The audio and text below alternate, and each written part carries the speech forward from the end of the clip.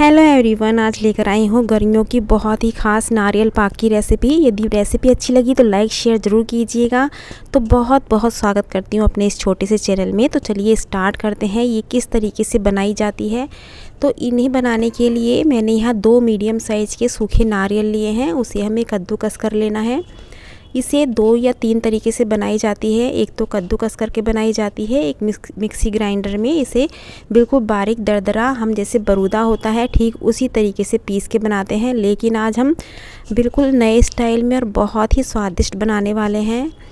तो सबसे पहले कढ़ाई में लेते हैं। 250 ग्राम मैंने एक चीनी ली है और 100 ग्राम का कप भर के टोटल मैंने साढ़े तीन सौ ग्राम चीनी ली है और 100 ग्राम का कप भर के मैंने इसमें पानी ऐड किया है। जब इसमें एक तार की चाशनी बन जाए, जब तक हमें इसे पकाना है थोड़ा सा यदि आप चाहो तो फ़ूड कलर भी ऐड कर सकते हो। मैंने यहाँ ग्रीन कलर यूज़ किया है, आप येलो ऑरेंज जो भी आपको पसंद हो, उसके अकॉर्डिंग आप इसमें हल्का सा कलर डालेंगे तो ये और भी ज़्यादा लुक वाइज भी अच्छी लगती है। खाने में तो ये है ही बहुत ज़्यादा स्वादिष्ट, लेकिन उससे पहले है कि हमारी आँखों को भी वो सुंदर लगनी चाहिए तो इसलिए मैंने थोड़ा सा फ़ूड कलर यूज़ किया है। तो देख लेते हैं, इसकी एक तार की चाशनी बन चुकी है। इसे यदि आप 10 से 12 मिनट पकाएँगे तो आराम से इसकी एक तार की चाशनी बन जाती है, गैस ऑफ़ कर चुकी हूँ और थोड़ा सा हमें इसे ठंडा करना है और किसी भी थाली या ट्रे में हल्का सा लगाएँगे देसी घी। और बहुत ज़्यादा इसे ठंडी नहीं करनी है हमें चाशनी को, बस हल्का सा नॉर्मल हो जाए। जो हमने नारियल को ग्रेट किया था, उसे ऐड कर लेते हैं। इसका जो दूसरा वीडियो मैंने जो मिक्सी ग्राइंडर में ग्राइंड करके बनाई है, उसका मैं लिंक दे दूँगी या आप मेरे चैनल पे देख भी सकते हैं। दो या तीन तरीके से मैंने बताई है।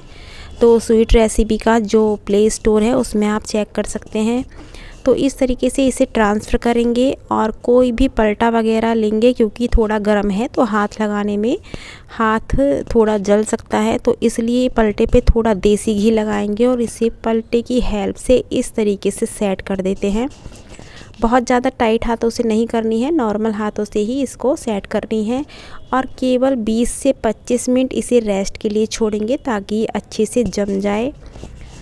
ये बहुत ज़्यादा हार्ड नहीं बनेगी और बहुत ज़्यादा सॉफ्ट भी नहीं बनेगी, बहुत ही फोकी और बहुत ही स्वादिष्ट ये बन के तैयार होती है। तो इसे हम रेस्ट के लिए छोड़ चुके हैं और ये अच्छे से सेट हो चुकी है। इसकी हम कटिंग कर लेते हैं। जितने बड़े पीस आपको पसंद है, उसके अकॉर्डिंग इसकी कटिंग आप कर सकते हैं।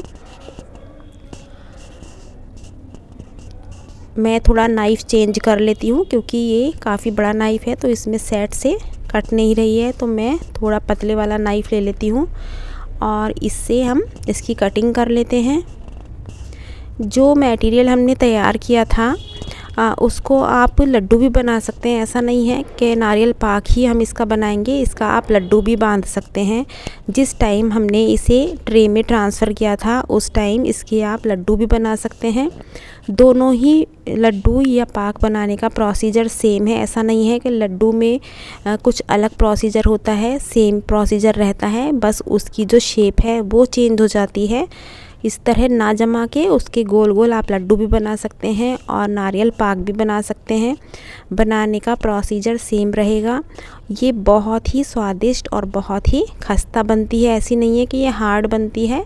बिल्कुल वेट में भी बहुत लाइट वेट की है। तो इस तरीके से आप नवरात्रों में बनाइए या पूरी गर्मी आप बना के स्टोर करके रख सकते हैं।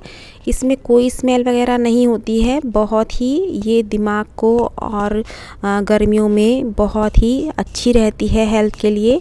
तो इसे बनाइए रेसिपी अच्छी लगी है तो लाइक शेयर भी कीजिएगा। देखिए, मैं आपको तोड़ के भी दिखा रही हूँ, ऐसा नहीं है कि बहुत ज़्यादा हार्ड है, इसे कोई भी खा सकता है। बच्चे, बड़े, बूढ़े, जवान सभी को बहुत पसंद आती है तो कल फिर मिलती हूँ एक नई रेसिपी के साथ। Thank you